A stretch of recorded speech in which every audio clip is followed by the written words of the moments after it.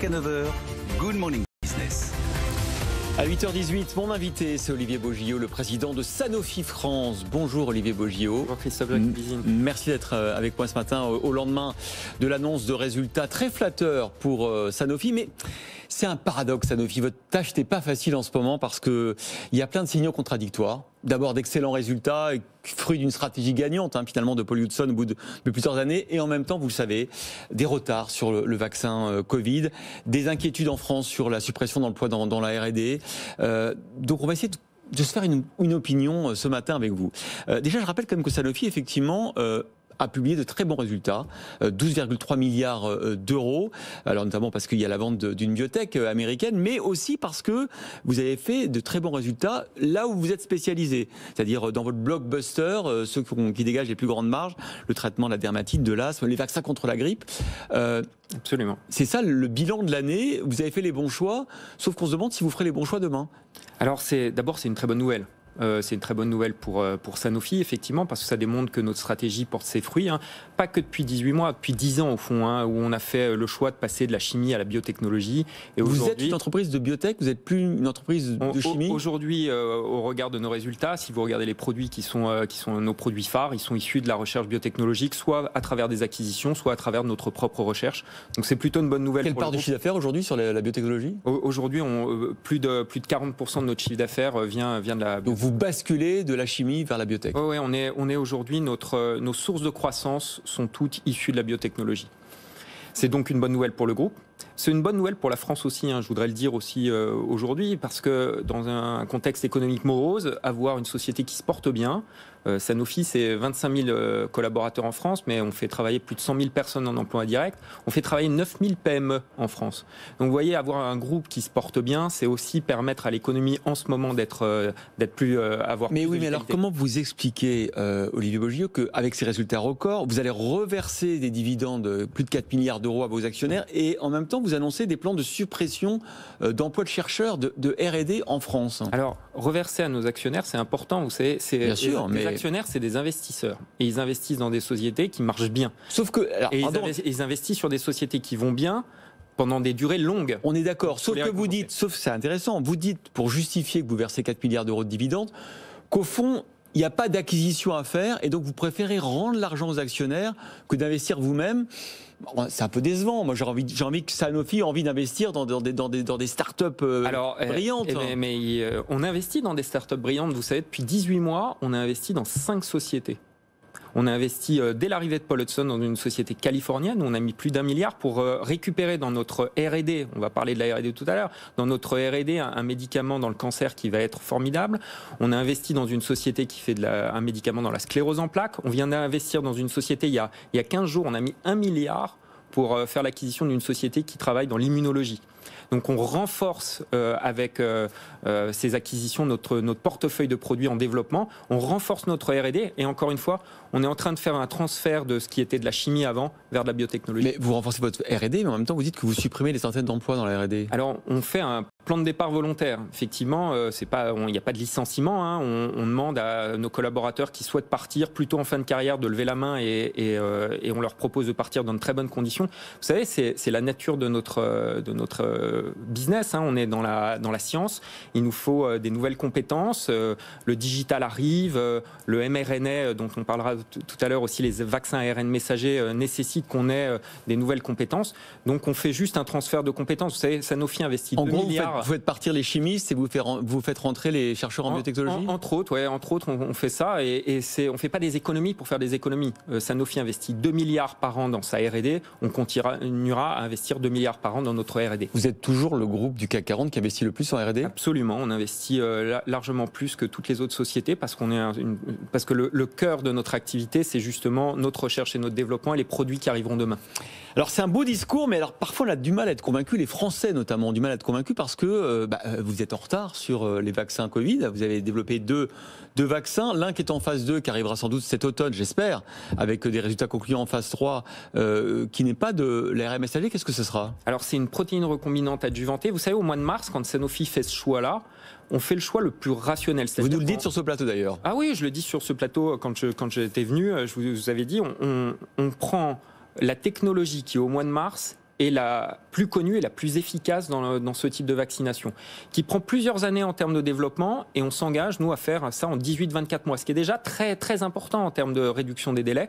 Et puis, euh, vous aurez une efficacité qui sera plus de 90% normalement? Ah, on, on, espère avoir une efficacité très élevée. Aujourd'hui, il y a une autre société qui a développé un vaccin pareil euh, avec euh, de la protéine recombinante, Laquelle? Novavax. Novavax a des niveaux d'efficacité autour de 90%. Mais vous vous êtes fait doubler par les entreprises qui ont développé l'ARN messager. Vous n'avez pas vu venir? Et moi, je les félicite.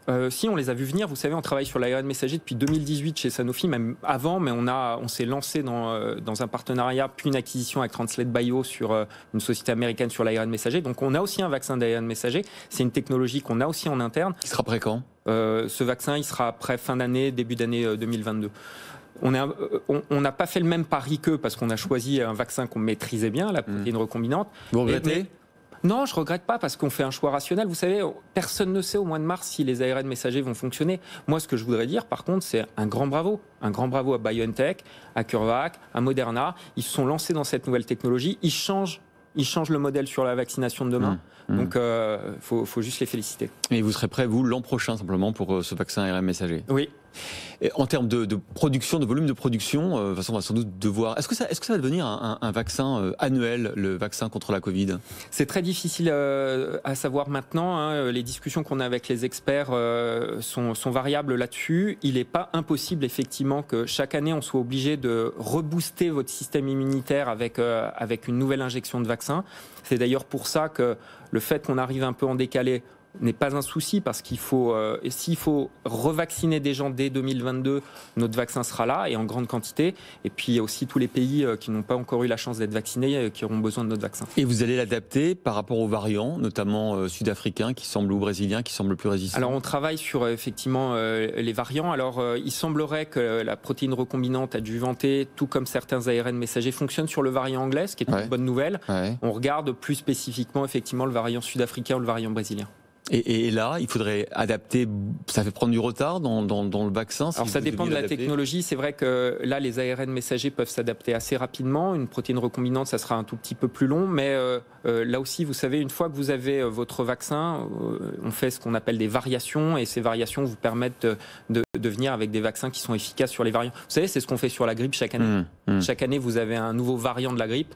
On s'adapte chaque année avec un nouveau vaccin. Alors, vous allez aussi produire le vaccin de vos concurrents. Vous avez vous allez produire plus de 100 millions de doses du vaccin euh, Pfizer. Euh, comment ça se passe en termes de, protection euh, Parce qu'ils vont vous, livrer le, composant essentiel ou vous allez le fabriquer aussi? Alors déjà, je voudrais dire que là aussi, c'est une très bonne nouvelle d'avoir un groupe comme Sanofi, qui est une très forte puissance industrielle, puisse se dire, alors qu'au mois de décembre, on a un peu de retard, on va être suffisamment agile pour aller produire le, vaccin d'un autre. Et là, BioNTech, effectivement, euh, a une production de son vaccin, de son ARN messager, mais a du, a du mal dans la partie finale, c'est-à-dire la mise en flacon. Mise en flacon, c'est quelque chose d'assez complexe hein, parce que surtout au niveau de température. Euh, il faut être dans hein. une chambre stérile, il faut un niveau de température. Puis vous voyez, hein, comme sur votre écran, vous avez des, millions de flacons qui doivent sortir et chaque flacon doit être parfaitement conforme. Sinon, vous arrêtez tout et vous mettez tout à la poubelle. Donc, ils sont venus nous voir parce qu'on a cette, euh, cette expertise euh, industrielle et on, s'est engagé avec eux, effectivement, pour euh, faire 100 millions, 100 millions de doses de vaccins. 100 millions de doses de vaccins, c'est 50 millions de personnes vaccinées. À partir de quand vous les produirez on les, on les, produit à partir de cet été et, et, entre cet été et la fin de l'année, il y aura 100 millions de doses. 50 millions de personnes protégées, c'est des vies sauvées. Donc ça sera un, vaccin euh, à ARM messager avant le vôtre, en fait, en quelque sorte. Oui, mais euh, c'est euh, nous, on est sur la dernière phase. Hein. on ne produit pas l'antigène, on ne produit pas l'ARN messager. Ça, ça restera BioNTech en Allemagne. Nous, on va le mettre dans les flacons et on va le distribuer. Il y a ce débat quand même depuis plusieurs jours, le débat légitime hein, sur est-ce que effectivement la France n'a pas développé le bon écosystème pour ces biotech, ces start-up, pour qu'elles nouent des partenariats avec des plus grands groupes, comme, comme le vôtre par exemple. C'est quoi le chaînon manquant en France? C'est celui du financement, celui de, des des synergies entre les labos de recherche publics et, privés. Qu'est-ce qui manque? Vous connaissez bah, l'industrie par cœur? Ouais, Déjà, c'est un, choix politique sur ce secteur. Et les Américains, les Chinois ont fait euh, de, des industries de santé un secteur stratégique. Ça veut dire qu'ils alignent l'investissement public euh, les, les, recherches universitaires et académiques, les start-up, les grands groupes et, vous avez, et les investisseurs. C'est pas ce qu'on fait en France. Hein. Non, on n'a pas fait ce choix. C'est la faute du gouvernement. Non, c'est pas la faute du gouvernement parce que vous savez, d'abord, euh, ça se joue pas euh, à l'échelle d'un pays, ça se joue à l'échelle probablement européenne. Il faut que l'Europe en fasse un secteur stratégique et ensuite qu'on puisse euh, décliner ça au niveau local en, favorisant les investissements dans le secteur académique, universitaire. Les recherches viennent de là. Ensuite, qu'elles soient transférées dans des biotech et qu'ensuite les biotech puissent faire des partenariats avec des industriels comme nous. Mmh. Ça, ça sera vertueux. Et puis, vous savez, moi, je suis, euh, je suis pas du tout euh, pessimiste. Je suis très optimiste pour la France. On a très bons chercheurs, on a très bons cliniciens, on a très bons hôpitaux. On doit être capable de rattraper nos retards. Mais on est en retard sur les vaccins.